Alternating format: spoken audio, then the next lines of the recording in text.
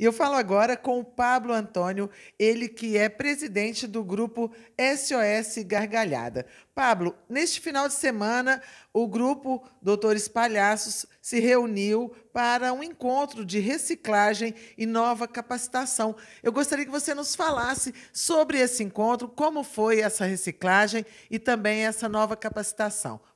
Então, a gente contou aí com cerca de mais ou menos 20 integrantes, sendo que desses 20 ah, a gente já tinha um pouco da nossa turma antiga, a gente fez uma reciclagem e uma capacitação para novos integrantes para que estivessem interessados em participar conosco nesse trabalho social que a gente faz nos hospitais. As ações que a gente faz não, é, não assim, se direciona somente ao hospital, né? A gente faz ações no lar, faz ações nas escolas, nas creches. Então, é um projeto social voltado para toda a comunidade mesmo. Sim, para quem não conhece o grupo SOS Gargalhada, são voluntários que se vestem de palhaços, então para fazer aí levar um pouco de alegria para essas pessoas que você acabou de falar.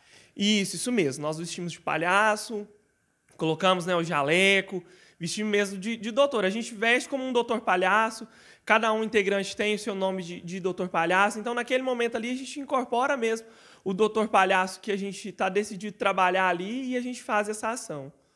Pablo, quanto tempo tem o grupo SOS Gargalhadas? O grupo existe há mais ou menos uns seis anos a sete anos, mais ou menos, nessa média. E eu entrei no grupo em 2018, quando houve uma segunda capacitação, e desde então, agora a gente assumiu aí a presidência e está trabalhando para melhorar e, e, e, trazer mais trabalho social para a cidade, através do grupo. Hoje, com os voluntários veteranos e os novos, quantos são? Nós estamos na média de uns 25, 25 a mais ou menos uns 25 integrantes, mais ou menos, nessa faixa. E essa capacitação foi, foi ministrada por quem? Uh, o pessoal que ministrou o curso chama Pércio Silva e Daniel Rodrigues, se eu não me engano. Eles são da Expresso Riso de Ribeirão Preto. A gente trouxe eles para estar tá ministrando esse curso para a gente aqui. E como que é que vocês atuam? Se as pessoas quiserem que vocês vão em algum evento e tal, como que é? É só entrar em contato com a gente através das nossas redes sociais, né? SOS Gargalhada Piuí no Instagram, é só procurar a gente lá, entrar em contato via direct e a gente né, vai negociar aí e consegue olhar em questão de data, nossa agenda, como é que tá, para a gente poder trabalhar junto aí. Levando aí a alegria e o encantamento para a promoção da saúde, que é a missão do grupo. Isso mesmo, esse é a nossa, o nosso ideal, né? O nosso trabalho social é isso. E vocês têm apoio, algum, algum tipo de apoio? Olha, a gente conta mesmo com o apoio da, da população no geral. Graças a, a esse pessoal né, no, da, dos comércios, desse, agora, né, a gente conseguiu realizar o nosso curso. Então, a gente teve um parceiro muito grande, foi a prefeitura.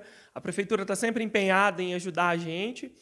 E a gente teve aí esses parceiros que decidiram apoiar a gente, trabalhar com a gente nesse trabalho bem bacana aí. Parabéns a vocês pelo lindo trabalho que vocês realizam aqui em Piuí e também toda a região, né? Vocês também atendem essas regiões. Sim, inclusive a gente teve aqui em Piuí, fazendo o curso com a gente, duas meninas de arcos que através dela, né, através das duas, a gente tem ideia sim de estar firmando parcerias com outros grupos para estar trabalhando em equipe e fazer um trabalho maior ainda, né? Se você interessar pelo nosso trabalho, quiser nos procurar no Instagram, tá lá, SOS Gargalhada Piuí, entre em contato com a gente e vamos trabalhar.